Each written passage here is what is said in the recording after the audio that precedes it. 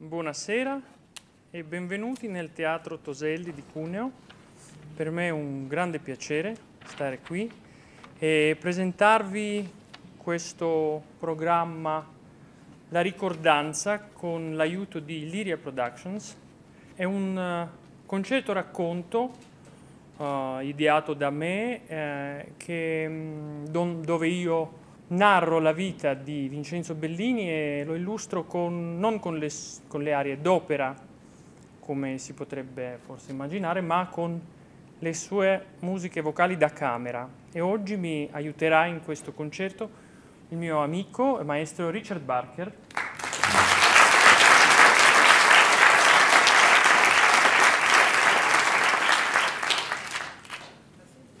L'idea di questo concerto racconto mi è venuta quando ero a Catania in casa Museo del Compositore.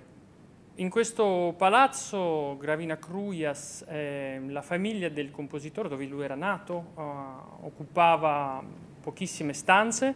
Adesso il museo è un po' più grande, si è ampliato e tra i vari cimeli della vita del compositore, gli oggetti personali, eh, spartiti, manoscritti, addirittura la bara nella quale hanno traslato il corpo di Bellini da Parigi a Catania, ci, si trovano due strumenti che appartenevano a Bellini, sono in uno stato pietoso, non si può suonare, fare la musica con quelli perché mancano i tasti, le corde, ma guardandoli ho pensato, ma qual era la voce di questi strumenti?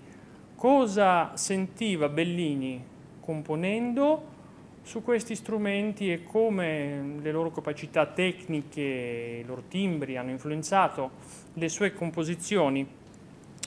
Uh, tutto questo mi ha portato in una ricerca molto interessante, ho incontrato moltissima gente molto interessante come musicologi, collezionisti di strumenti d'epoca, uh, gli accordatori, i pianisti. Eh, e, um, oggi per questo concerto abbiamo un bellissimo strumento, è un playel del 1858, gentilmente concesso a noi eh, dalla collezione Formentelli e messo a punto da Tonino Rappoccio, al quale esprimiamo gratitudine e riconoscenza.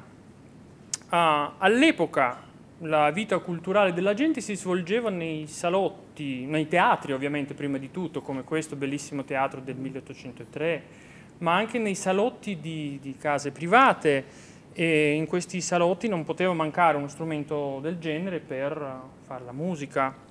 Uh, Bellini sicuramente frequentava i salotti a Catania, a Napoli, a Milano, a Parigi uh, suonava, cantava, componeva le sue musiche da camera per i salotti, come, a volte come i regali per le persone importanti, a volte queste musiche gli servivano come degli abbozzi per le arie d'opera che poi riutilizzerà nelle opere. Tutta la vita di Bellini è legata alle musiche da camera e uh, per esempio si conosce la, la primissima aria da camera, la farfalletta, eh, che sicuramente non era di, di Bellini perché l'hanno trascritta dopo, insomma, a memoria, fino alle ultimissime note che lui ha scritto nella romanza Le Souvenir, che hanno trovato dopo la sua morte sulla scrivania del compositore. Bellini nasce il 3 novembre 1801 a Catania, in famiglia di musicisti, Uh, il suo padre e il suo nonno sono gli organisti e i compositori e i suoi primi passi Bellini fa sotto l'osservanza del nonno e abbiamo anche delle musiche uh, sui temi sacri di Bellini bambino, insomma. All'età di 17 anni uh, Bellini, dopo aver ottenuto lo stipendio dal Duca di San Martino, va a Napoli per continuare i studi della musica eh, nel Conservatorio di San Sebastiano Napoli all'inizio sì, dell'Ottocento era una capitale mondiale della musica e dell'opera, i migliori compositori, i migliori cantanti lavoravano lì e ovviamente il teatro più ambito era San Carlo di Napoli.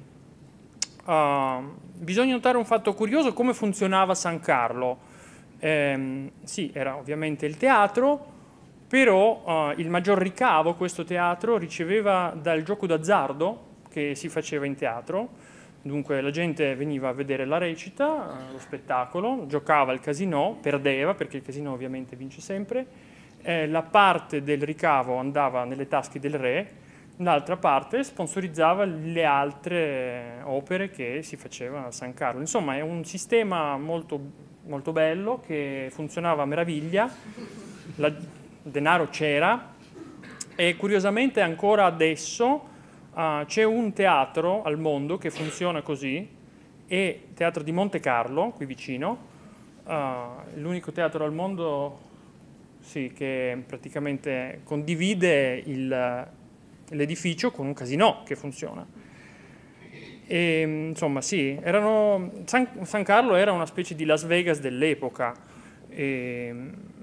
Bellini resta in conservatorio per otto anni, eh, qui conosce una persona con la quale mh, stringerà un'amicizia molto profonda e che la accompagnerà per tutta la sua vita. È un Francesco Florimo, si chiama questa persona, anche lui studiava uh, la composizione, ma la carriera del compositore non l'ha fatto, è rimasto a lavorare nella biblioteca del conservatorio per tutta la sua vita. E per tutta la sua vita Bellini gli scrive le lettere. Uh, il maggior epistolario che abbiamo è scritto tutto a Francesco Florimo e io in questo mio concerto racconto ho deciso di leggere alcune, alcuni estratti delle lettere di Bellini per dare a lui la voce e la possibilità di esprimersi su alcuni argomenti. Francesco Florimo distruggerà molte uh, delle lettere di Bellini, uh, in alcune lettere cambierà le parole o eliminerà alcune, alcune frasi per per abbellire la reputazione di Bellini, per, per renderlo un po, più, un po' meno umano, può darsi, però anche quelle che noi abbiamo a disposizione sono molto belle. Infatti qui abbiamo una che parla proprio dello strumento. Bellini uh, cerca di persuadere lo zio ad aiutarlo ad ottenerne uno e scrive Carissimo zio, uh, mi dispiace una cosa sola, che donna Cristina lasciò la musica Essa tiene il pianoforte che dorme e io qui ne, desideras- ne desiderassi uno per sollevarmi l'anima. Mi doveva comprare un cembalo a martelli e non ne ho potuto ritrovare uno. Fanno dei pianoforti piccoli e ne vogliono sangue. E codesta cugina calcola cotesto bello strumento per niente. Iddio manda il pane a chi non ha la bocca. La romanza dolente immagine che canto adesso è stata scritta proprio a Napoli. Si credeva che l'autrice del testo fosse Maddalena Fumaroli, giovane ragazza uh, proveniente da una famiglia di un giudice, alla quale Bellini chiese di sposarla addirittura, ma fu rifiutato dal padre per la estrema povertà. Dunque, Uh, ma più probabilmente l'autore del testo era Giulio Genoino che era l'insegnante di lettere della ragazza. Abbiamo molti manoscritti di, questo, di questa romanza che era diventata subito molto popolare, famosa e amata.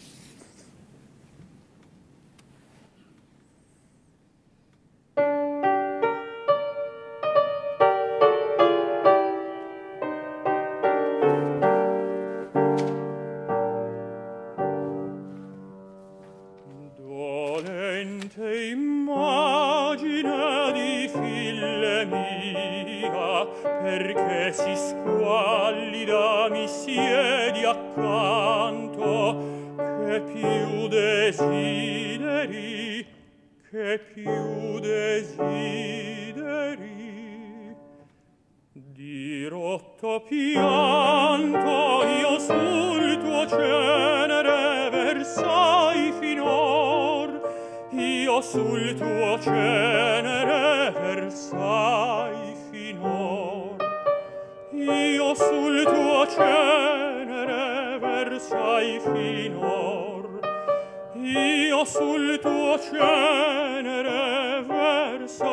finor.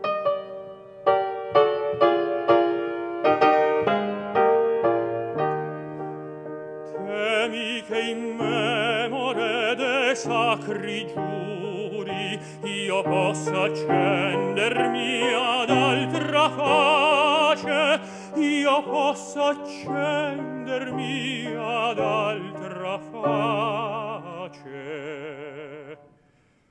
Ombra di filide riposa in pace, riposa in pace.